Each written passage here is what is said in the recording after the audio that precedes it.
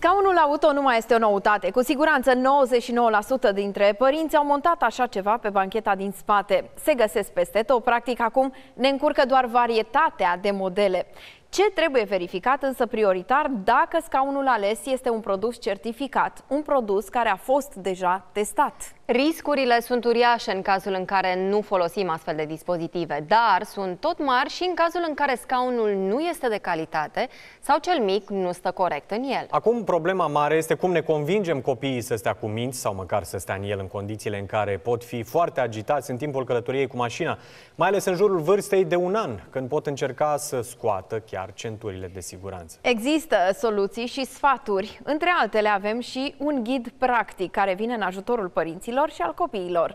Ana Maria Ivan, cunoscută și drept zâna scutecel, a scris o carte despre acest lucru. Iată ce ne sfătuiește. Scaunul auto este ca o haină. Trebuie ales în funcție de vârsta, înălțimea și greutatea copilului și nu în ultimul rând în funcție de tipul mașinii. Să ținem cont că România este pe primul loc în Uniunea Europeană în ceea ce privește numărul de decese produse din cauza unui accident rutier în rândul copiilor cu vârsta între 0 și 12 ani. Iar scaunul auto nu trebuie ales în funcție de culoare și model. Altele sunt criteriile importante. Scaunele sunt dispozitive de siguranță.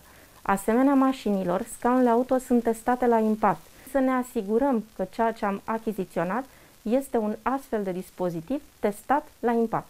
Conform specialiștilor, este foarte importantă poziționarea unei oglinzi pe tetiera din spate. Astfel, părintele poate urmări constant copilul pe parcursul deplasării. O geacă groasă poate să ducă la crearea unui strat gros de aer între centurile scaunului și corpul copilului, iar în momentul impactului există riscul ca el să fie proiectat din scaun Zâna Scutecel, așa cum i se mai spune Anei Maria Ivan, este și mama a trei copii. De curând a decis să rezume experiențele trăite în mașină alături de ei într-o carte. Totul se rezumă la răbdare și entertainment.